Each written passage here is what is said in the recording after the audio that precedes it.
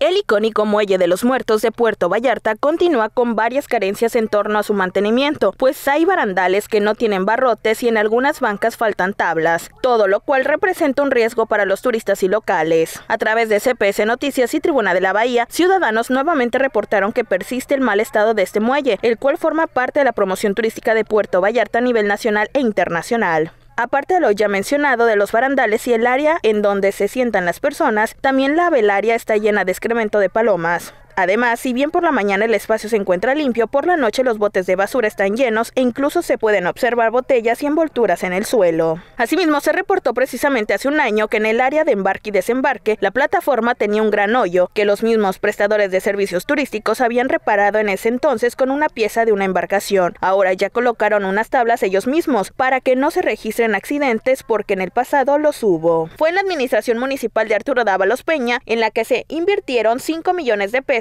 por parte del Fideicomiso de Turismo de Puerto Vallarta para cambiar cátodos y ánodos, además de dar mantenimiento en general y se repararon las luminarias. Hace un mes, la secretaria de Turismo de Jalisco, Vanessa Pérez Lamas, informó que se estarán invirtiendo un recurso económico a este muelle, aunque no precisó la fecha ni el monto. Cabe recordar que por parte del gobierno del estado actualmente está en rehabilitación el muelle de Boca de Tomatlán y en cuatro semanas podría quedar listo con una inversión superior a 30 millones de pesos.